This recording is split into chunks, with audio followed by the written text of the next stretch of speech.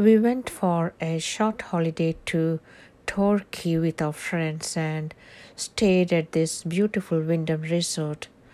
The beach is right in front of this place.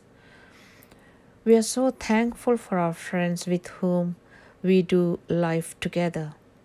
Our friends who encourage us and builds us up and always points us to Christ.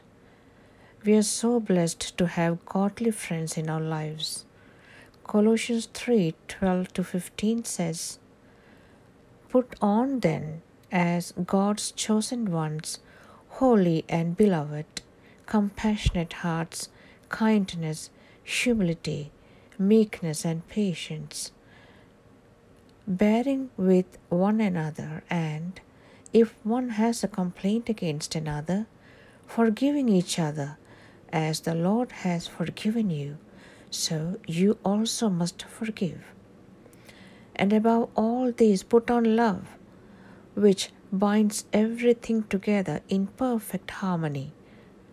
And let the peace of Christ rule in your hearts, to which indeed you were called in one body, and be thankful.